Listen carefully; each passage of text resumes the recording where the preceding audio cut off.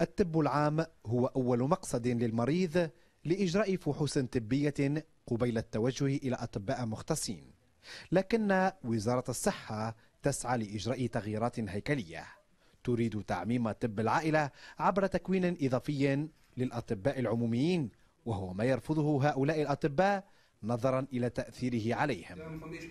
هو التوجه الأفضل والأنسب أنه يتم اعتماد نفس التسمية كان باش نسميهم. طب عام الناس الكل وإلا مختص طبيب العائلة الناس الكل. بالقديم بالجديد. علاش؟ على خاطر اليوم هذايا باش يضر ناس قاعدة تخدم على, أرض الواقع. فما عيادات فما عباد عندها عباد تخدم معها. أمر ينذر بتقسيم اختصاص الطب العام إذا. هكذا يراه الأطباء العموميون. لكن ليس كل الأطباء على قلب رجل واحد. هنا في إحدى عيادات الطب الخاص يرى بعضهم أن هذا الإجراء عكس ذلك تماما. هو بالنسبة إليهم يعد إصلاحا يتطابق مع المعايير الدولية. يتسمى كان جدل بيزنطي معنا لأنه في نهاية الأمر هو صار في أول مراجعة التكوين الطبي في 2011 في تونس. صار شبه اتفاق وشبه وعود الأطباء العامين الموجودين في تونس أنه يصير إدماجهم بصفة آلية في منظومة الطب العائلي.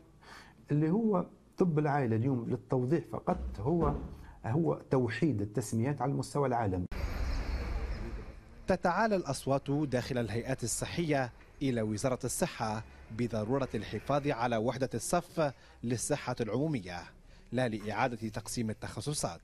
عدا عن ذلك ثمة قضايا مستعجلة ذات أولوية أكبر.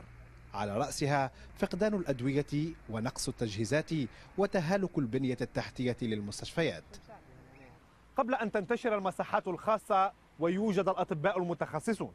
كان التونسيون منذ زمن بعيد يتوجهون غالبا إلى الطب العام.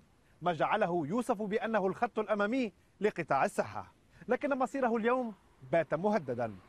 وسام دعاسي العربي تونس.